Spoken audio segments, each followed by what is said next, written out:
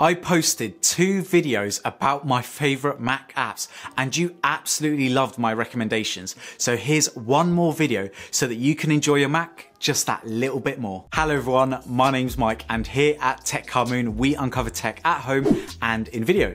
So hit that subscribe button if you want to see more. But today I'm going to show you my top five favorite utilities for the Mac part two. If you haven't watched my last two videos, then I definitely think that you should check those out as they're pretty awesome and I got some really good feedback from them.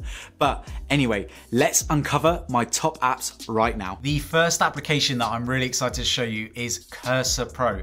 And as you can see, I'm using it right now. So it basically puts a halo around your mouse and it's also got a built-in magnifying feature. So if I just hold down the key as you can see, I'm highlighting basically anything that I want to. So again, it's that, that simple. And also if you click, as you can see, it animates all the clicks as well. So if you're doing any tutorial videos or anything like that, this is gonna be a lifesaver because it's gonna save you a lot of time in post because you're not having to sort of zoom in all the time. And again, it animates the click, which is much better than what is available built into Mac OS. So let's show you some of the preferences so that you can set this up the way that I have. So just on the top over here, you've got this little icon and you can turn it off and on and if we go into preferences, we go into color. So you can set it as your system accent. So for me, my system accent is blue, but let's say you've got pink or whatever, it will just set it as that. Then we've got the magnifying feature. So as you can see, it will allow it when I press FN, but you can have it for control or option. And then if we go into behavior, it just shows you how you can animate your click. Then you can hide the actual mouse itself when it's inactive, and then you can have it start at login. Now, if there was one thing that I wish this application had. It's not a major thing, but I wish it had its own color picker so that you can choose exactly what color you want. But apart from that, this is an amazing app. As you can see, it is super versatile. It will really add another dynamic if you're doing any tutorial or walkthrough videos. And again, with all the clicks and stuff like that, as you can see, it's just it's just good looking. It adds that level of professionalism that you don't get with other uh, applications like this. The next application is called Dropover, and this is something that I use a lot when I'm transferring uh, files from my MacBook to my hard drive and then vice versa. And this is such a simple application, and I think it's $3.99 for the Pro version. You get a 14 day free trial so you can try it out before you buy it. But I think for $3.99, the amount of times that it's come in clutch has well been worth it for that $3.99. So let's show you how it works. So right over here on my desktop, I've got a couple of files. And let's say I want to transfer it over to another folder. Well, typically what you would do is you go into Finder and then you would go into the folder and then you would drag it over and then you would move it over over and everything like that. But then you need to sort of come out of it and then go into that one and then drag it over. And let's say you're switching between tabs as well. So now you've got files in this one, you also want to drag that one, but you can only do it sort of one at a time. So what you can do is, is if you click and drag and highlight the items that you want, give it a good shake and a shelf appears. Now you can move this shelf wherever you want and you can even add stuff to it. So let's say copy that. Let's add this one to the shelf as well. And then let's go back into the documents and let's just chuck that just over here. It's now a really, really simple process. And for example, let's just highlight all of that and let's give it another good shake and pop it onto the shelf. You can also directly upload it to any of your cloud storages. So for me, it's Google Drive. All that I do is just pop it on the shelf as you saw, and then just copy it to Google Drive. So let's show you the settings of this application so you know what you get with the application. So you've got a few settings just over here, which is fine. Let's go into preferences. So right over here, I've got uh, the Dropover Cloud enabled. That's always enabled when you set up the account. And then you've got your Google Drive, but you've got, you know, iCloud, Dropbox, Microsoft OneDrive, uh, Imgur.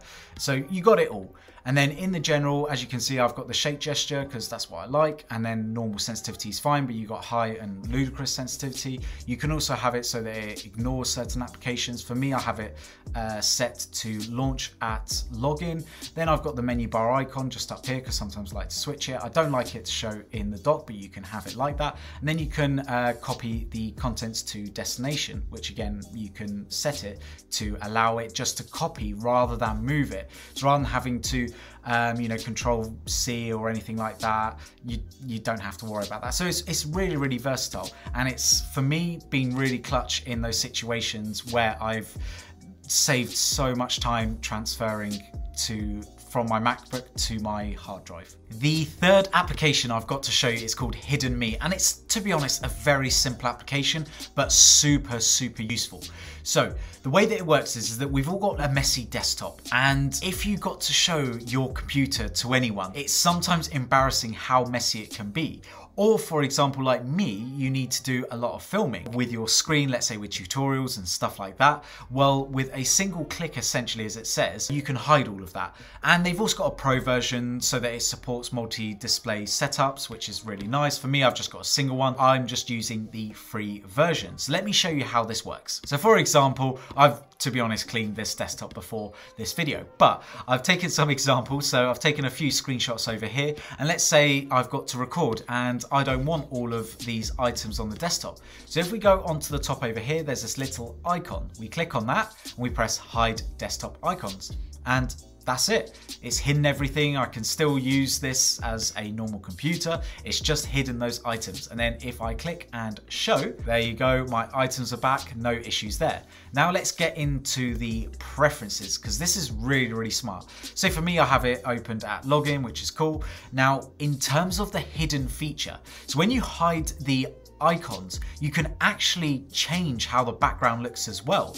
So for example, I can use a solid, uh, solid color or a custom wallpaper every time I do it. So let's say I've got pictures of, you know, my family or something like that as the background, but I don't want that to be the background uh, when I'm recording my screen or if someone is looking at my screen, for example. Let's say I use it for work and for at home. Sometimes I don't want that same wallpaper everywhere. Well, what you you can do is, is when you click that hide feature, it switches out of your normal setup. So let me explain. Click on the hide desktop icons and can you see it's now changed it to my custom color. And then let's say I'm back at home and boom, it's party mic mode. So everything's all back to normal. Everything uh, that I have uh, on the desktop is visible to see. So it is really cool. I mean, when when I found out about this feature, uh, I to be honest, went nuts because it was like, sweet, I can take it anywhere. I don't always have to have this picture, for example. And yeah, it's, it's just a really nice free app that I think you guys should try, especially if you are someone who uses your laptop for work or if you do any screen recording stuff with your desktop. The fourth application that I really want to show you is called CleanMyMac X. And just let you know, they haven't paid me, it's not sponsored or anything like that. This is just an application that I genuinely use on a weekly basis. And it's really, really smart. So let me get into some of the top features that I really like about this application. So just on the top here, you've got this little icon, as you can see, just click on that. And it's got some useful information just over here. I'll be honest, I don't really check out a lot of this stuff, but it is useful uh, just at a glance. But let's go into the settings by pressing this little Mac icon. And as you can see just on the left, it's got a whole bunch of stuff. And I mean, it's just to make your uh, Mac computer run a little bit better. It's also got some malware protection as well. And it also just gets rid of really annoying system files and junk that's sort of buried uh, within the Mac that can eat up away at your memory. So if anyone's got any small hard drives or anything like that, this is really going to help free up some of that space. So for me, they've got this really cool smart scan feature. So I just normally click on it. This is the easiest way of doing things. And as it says here, you know, you can clean it up. It's just going to do a general protection and then it's going to do some tasks to improve. And all that you do is just press run. It's going to go through. So yeah, let's just quit it. You know, let's just go ahead. We're doing this video.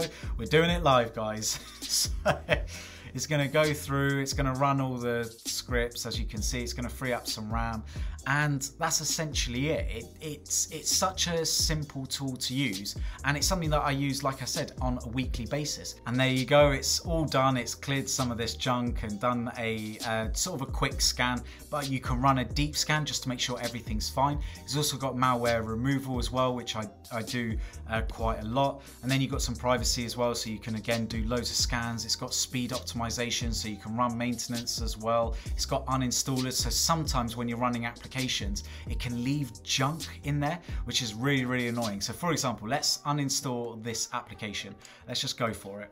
So it's gonna do it, do it, and there you go it's now uninstalled that application and it's got rid of absolutely everything we've got an extension here which again you can remove unnecessary extensions i mean it's got absolutely everything you guys just should download it, try it, give it a go. Like with everything, there'll be links in the description below. But let's go on to our fifth and final application. This is called Vanilla and it's free of charge. They do have a pro version as you can see down here, which allows for certain things like compatibility with dark and uh, light menus, as well as being able to hide it uh, from the menu bar completely and also automatically hide the icons again after five seconds and being able to start it up when you log in. For me, I just thought it was worth supporting the creators of this application because it is just so good. So as you can see, normally all the applications are on the top. Well, with this application vanilla, it allows you to hide it. So let me show you. You've probably seen it already,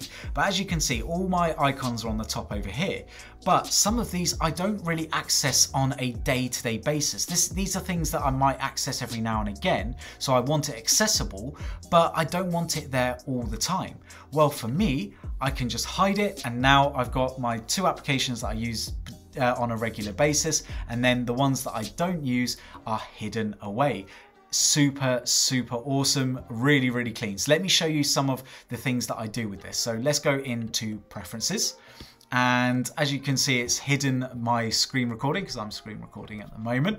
And again you can have it set so that it automatically hides the icons after five seconds. So let's say I open this up and it's staying open stay open stay open and I've left it. After five seconds it will close it down again. And I just really like the fact that this hides all my icons, so I always have it uh, to start when I log in, and that's it. And if you want to hide any icons, it's super easy.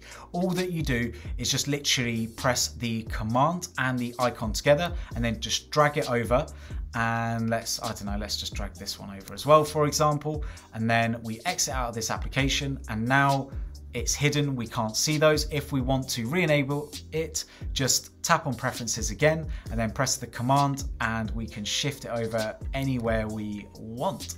And we'll put it back to the visible bit, we'll keep that bit hidden and then exit out of that. And now they're back again.